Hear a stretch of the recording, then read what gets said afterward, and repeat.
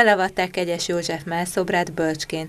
Az alkotás a festőművész nevét viselő Kegyes József általános iskola udvaránál a megvalósuláshoz a Nemzeti Kulturális Alaptól nyert támogatást a település. Kegyes József bölcskei születésű festő, munkácsi kortársa volt, és gyakorlatilag teljesen saját szorgalmában jutott el olyan szintre, amely szakma maximálisan elismer, és amely itt a településen mai napig fellelhető.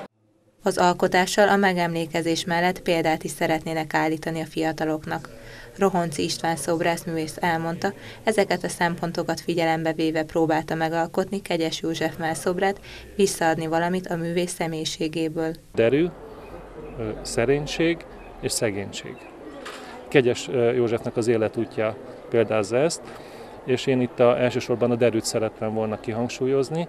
Ő egy nagyon-nagyon szerény és nagyon szegény ember volt. A környéken alkotott, és én ezt a szellemet próbáltam valamilyen formában megragadni. A három évvel ezelőtt felújított iskola most a névadó melszobrával vált teljessé. Remélik, hogy így talán az egész ország megismeri Kegyes József nevét és munkásságát.